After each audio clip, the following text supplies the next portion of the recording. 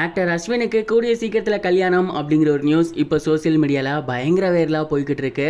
அதை பற்றி என்ன தகவல் கிடச்சிருக்கு அப்படிங்கிற கம்ப்ளீட் டீட்டெயில் தான் இந்த வீடியோவில் பார்க்க போகிறோம் cook with Comali season two மூலியமாக மக்கள் மத்தியில் மிகப்பெரிய ஒரு வரவேற்பு பெற்றிருந்தவர் தான் அஸ்வின். அந்த சீசனில் இவருக்கு மிகப்பெரிய ஒரு கிரேஸ் இருந்துச்சு அப்படின்னே சொல்லலாம்.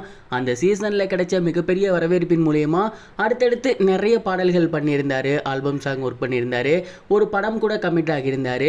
ரொம்ப நல்லபடியாக போய்கிட்டு இருந்த இவரோட வாழ்க்கை ஒரே ஒரு மேடை பேச்சால் முடிஞ்சு போச்சு அப்படின்னு தான் சொல்லணும்.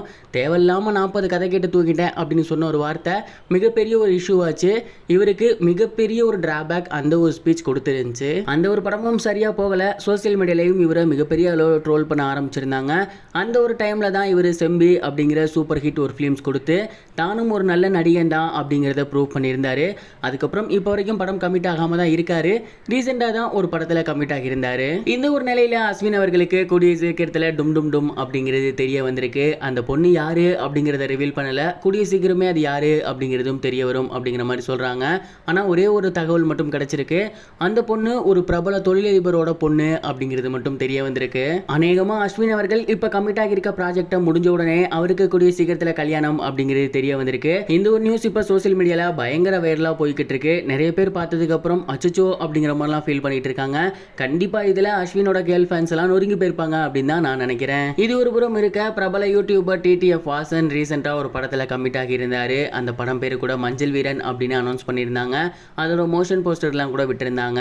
அந்த மோஷன் போஸ்டர் ட்ரோல் பண்ணியே பயங்கர வைரலாக மாற்றிருந்தாங்க இது மட்டும் இல்லாமல் ப்ரெஸ் மீட்டில் கூல் சுரேஷ் டிடிஎஃப் வாசனுக்கு தக் லைஃப் கொடுத்தது அப்படின்னு அடுத்தடுத்து அந்த படத்தை பற்றின அறிவிப்புகள் எல்லாமே பயங்கர ட்ரோலிங்காக மாறி இருந்துச்சு இந்த ஒரு நிலையில தான் டிடிஎஃப் வாசன் அந்த படத்தில் ஒரு போஸ்டர் வெளியிட்டு ஹீரோயினோட ஃபேஸை மட்டும் பிளர் பண்ணியிருந்தாரு. ஹீரோயின் யார் அப்படின்னு கெஸ் பண்ணுங்க அப்படிங்கிற மாதிரியும் சொல்லியிருந்தாரு.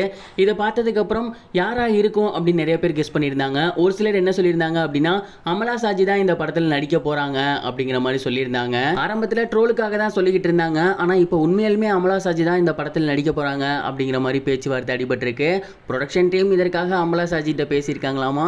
கூடிய சீக்கிரத்திலே நல்ல பதில் ஒன்று வரும் அப்படிங்கிற மாதிரி சொல்லியிருக்காங்க. அமலா சாஜிக்கு சோஷியல் மீடியாவில் ஹேட்டர்ஸ் அப்படிங்கிறது அளவுக்கு அதிகமாகவே இருக்காங்க அப்படின்னு தான் சொல்லணும். அவங்க எது பண்ணாலும் ட்ரோல் பண்ணுறதுக்கு ஒரு கூட்டம் இருக்கு. இந்த ஒரு தகவல் வந்ததுக்கப்புறம் கம்முனாக இருப்பாங்க.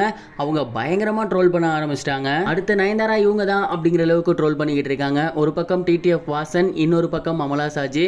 இவங்க ரெண்டு பேரும் சேர்ந்து நடித்தா எப்படி இருக்கும்? Tamil cinema going to be next level அப்படின்லாம் கலாய்ச்சிக்கிட்டு இருக்காங்க. நல்லா வந்தால் சந்தோஷம் தான் அப்படிங்கிறது காமன் ஆடியன்ஸோட பேச்சாக இருக்குது இதை பற்றி நீங்கள் என்ன நினைக்கிறீங்க? கமெண்ட் பாக்ஸில் ஷேர் பண்ணுங்கள் இது வரைக்கும் கனெக்டிங் டிவிக்கு சப்ஸ்கிரைப் பண்ணனா மறக்காம சப்ஸ்கிரைப் பண்ணிக்கங்க. உடனடி அப்டேட்ஸ் பெறுவதற்கு நோட்டிஃபிகேஷன் பெல்லையும் கிளிக் பண்ணிக்கங்க.